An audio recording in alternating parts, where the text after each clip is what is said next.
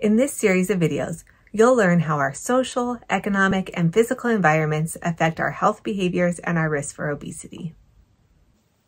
This video will cover our third topic learning objective, which is to identify aspects of individuals' social, economic, and physical environments that may interfere with the adoption and maintenance of health behaviors.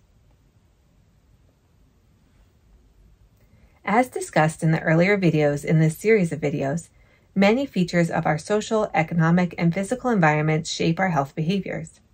In this video, we'll break down these different types of environments to better understand how they affect our health behaviors and how we can impact these environments so they better promote healthy choices and behaviors that support healthy weight status. Let's first talk about social environmental factors. Social environments include social influences that affect our beliefs, customs, practices, and behaviors within a social setting. Some key social risk factors include socioeconomic status, which describes the social standing or class of an individual group.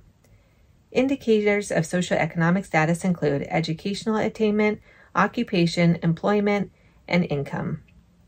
Our relative standing is affected by inequalities in income and experiences of deprivation.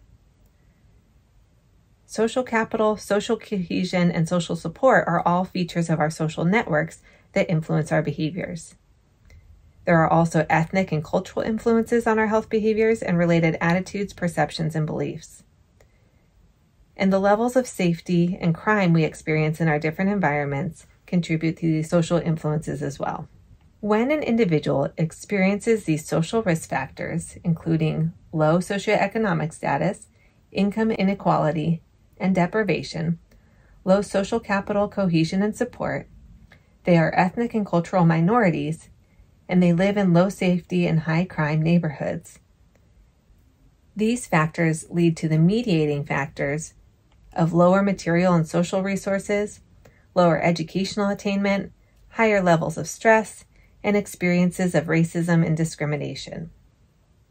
These and other mediating factors ultimately increase risk for poor diet quality, lower physical activity levels, poor quality sleep, poor self regulation, inadequate access to health care, and poor mental health.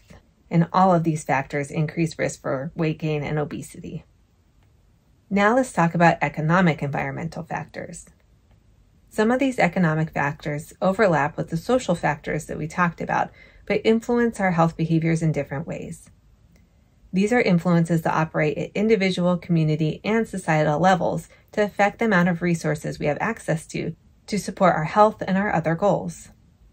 Some key economic influences include an individual's purchasing power, which is dependent upon the amount of money they have to meet their needs, as well as their communities and their society's broader economic growth and prosperity, which influences the type of resources that their communities and societies can provide to their residents and the accessibility and cost of those resources. When an individual experiences these economic risk factors, including low individual purchasing power and high price of essential resources such as housing and food, this leads to the mediating factors of lower abilities to purchase costlier healthy foods, food insecurity, less time for physical activity, and difficulty covering the basic costs of living and healthcare. This ultimately increases risk for the same poor health outcomes that we examined when we looked at social risk factors, and these subsequently increase risk for obesity. Now let's talk about physical environmental factors. Physical environments include both built and natural environments. Built environments include places and spaces created by people, including parks, buildings, and transportation systems. Natural environments include environmental features such as beaches, mountains, or forests. Some key physical influences include features of environments that shape physical access to and opportunities for health behaviors, such as the types of food we have access to, opportunities for physical activity, sedentary behaviors, and sleep. Some features of physical environments that increase risk for obesity can be identified in our homes, workplaces, and stores that we shop in. Within homes, an example of a physical environmental risk factor is a greater number of TVs and other electronic screens, research has shown that homes with more TVs and electronic screens have residents who are more sedentary and more likely to have a higher weight status. Within workplaces, an example of a physical environmental risk factor is greater mechanization and automation of work, which means that workers experience decreases in their daily physical activity levels. Within stores, we know that the store layout, product availability, and placement of products can prompt us to purchase more energy dense, high fat, and sugar foods and fewer nutrient dense fruits and vegetables. There are also many features of our broader neighborhoods and communities that affect our health behaviors, including the aesthetics, whether it's actually pleasing to be outside and be active, the safety of these neighborhoods and communities, the mix of land use, whether residential areas are separated from city areas that may be more walkable, the connectivity between individuals and resources, the walkability of these neighborhoods and communities, whether there's urban sprawl where cars are needed to get everywhere you need to go, and the relative density of these neighborhoods. Now that we've discussed these different environmental influences, take some time to reflect on your own experiences.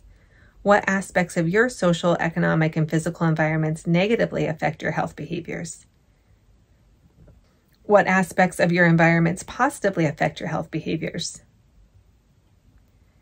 And what are some ways that you can emphasize the positive influences and de emphasize the negative influences? This is the key towards making our environments promote health. Research has shown that environmental change is an essential part of the obesity solution. We know that environments are potent influences on our health behaviors, and personal responsibility can only get us so far when we are in obesogenic environments. Thus, individual behaviors are important, but we must analyze and change our environments as an essential part of the obesity solution. Research has shown the most effective environmental change strategies include making healthy choices the default. So, for example, instead of having to pay extra for a salad to come with your restaurant meal, you should get the salad with your meal and you have to pay extra for french fries. Little changes like this that make it easy to make the healthiest choice, or even make it so that you don't even have to think about making a healthy choice, can go a long way in ensuring that our environments are promoting health instead of detracting from it. We also need solutions to reduce inequity by increasing access for all. Health should not be a privilege that's only experienced by the affluent and wealthy, but something that all can access easily, regardless of what their neighborhood or community looks like. We also need strategies to create cultures of health and wellness in our homes, our workplaces, and our broader community. Let's wrap up with some key takeaways. Both research as well as our personal experiences illustrate that features of our social, economic, and physical environments are important drivers of our health behaviors and our health outcomes. Currently, many aspects of these environments promote poor diet quality, high levels of sedentary behavior, and inadequate physical activity and sleep, creating an obesogenic environment that promotes weight gain and sustains obesity. Interventions that target environments can be effective and the most effective strategies strive to decrease inequality and make healthy choices the default for all. That's all for this video. Thank you for learning with me.